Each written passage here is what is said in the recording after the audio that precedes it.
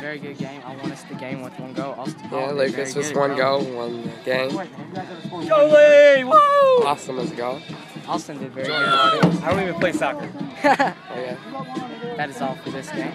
Okay, Lucas won the game against Grundy. Good job, David Goodman. had a concussion.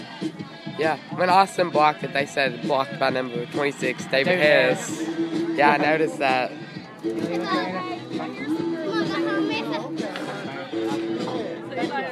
Go see.